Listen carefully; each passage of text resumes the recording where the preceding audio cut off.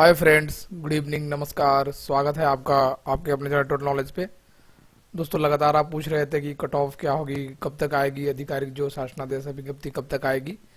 तो आपका इंतज़ार खत्म हो चुका है, वो आ चुकी है, ये आधिकारिक है, आप देख रहे होंगे स्क्रीन पे। मैं पूरा पढ़ देता हूँ, एक बार देखें, फिर चर्चा करते हैं। प्रेषक चंद्रशेखर, विशेष सचिव, उत्तर प्रदेश शासन, ठीक है ना? सेवा में निदेशक एससीआरटी है ये, सचिव पी आपका हो गया। बेसिक शिक्षा विभाग, अनुभाग चार, लखनऊ दिनांक सात जनवरी 2019 यानी आज की बात है। अब विषय देख लें। उत्तर प्रदेश बेसिक शिक्षा परिषद द्वारा संचालित परिषदीय प्राथमिक विद्यालय हेतु सहायक अध्यापक भर्ती परीक्षा 2019 में न्यूनतम उत्तीर्ण निर्धारित किए जाने के संबंध में, यानी जो आप कट ऑफ़ की बात करें उसके महोदय। उपयुक्त विषयक सचिव बेसिक शिक्षा परिषद के पत्र संख्या, जो पत्र संख्या ये है इनका दिनांक पाँच जनवरी 2019 के संदर्भ ग्रहण करें, जिसके द्वारा सहायक अध्यापक भर्ती परीक्षा 2019 में न्यूनतम उत्तीर्ण अंक निर्धारित किए जाने का अनुरोध किया गया है। ठीक है ना? सारी चीज़ें पता है आपको।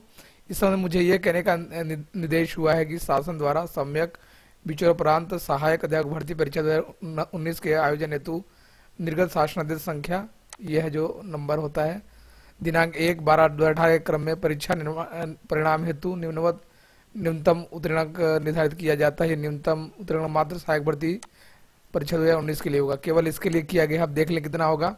समान वर्ग, यानी जनरल कैटेगरी के लिए क्या होगा? आप देख लें 150 में से आपको संतानवे अंक, अर्थात 65 परसेंट एवं अधिक अंक प्राप्त करने वाले अभ्यर्थियों को सहायक भर्ती परीक्षा में उत्तीर्ण माना जाएगा। अगर आपका 97 नंबर से ज़्यादा आता है या 65 परसेंट ठीक है? परसेंट में 65 या 97 या इससे ज़्यादा आता है तो आप उत्तीर्ण घोषित किए जाएँगे। अगला देखिए, अगर आप और कैटेगरी के हैं एवं अन्य समस्त आरक्षित वर्ग के अभ्यर्थियों को पूर्णांक 150 में से 90 यानी 60 परसेंट लाने पे आपको उत्तीर्ण घोषित किया जाएगा। ठीक है? यानी जनरल की जो रहने वाली है वो 97 और उससे ज़्यादा है तो आपको उत्तीर्ण माना जाएगा। और अगर आप कैटेगरी है आपके पास तो साठ परसेंट, यानी कि नब्बे नंबर आपको लाने होंगे।